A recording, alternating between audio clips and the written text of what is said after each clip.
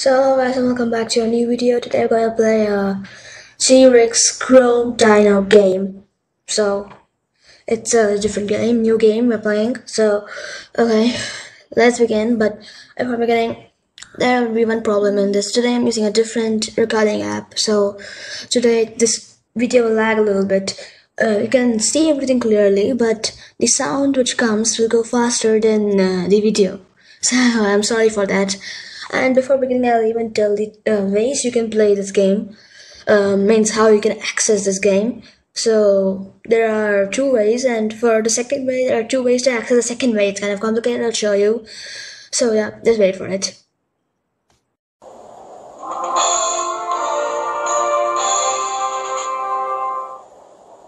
Okay, I'm gonna show the two ways. I'm using uh, Firefox. You can use any other website I'm doing web browser except for in the second wave. The first way you have to use Google Chrome.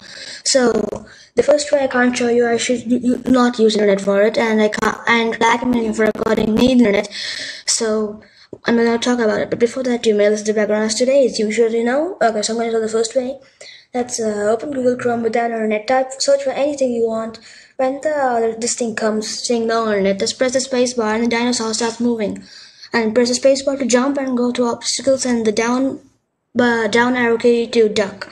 So the second way I'm to show you using uh, sorry Mozilla Firefox. You can use any other browser, Microsoft Edge, Chrome, anything. So all you should type is www dot Chrome d i n o Dino dot C O M Judge Then I search it it comes to this directly. This. And the other way is, um, well, I did the old tab, but yeah, just type on the Google and use any browser again. Type uh, Chrome, um, Dino game online. And click on the first website. And again, come back to the same thing and spacebar to chat jump all the stuff is written over here. You can see this all of this thing. Okay so that's how it is to be opened. Now i'm gonna go and play the game early so let's begin now. Anyway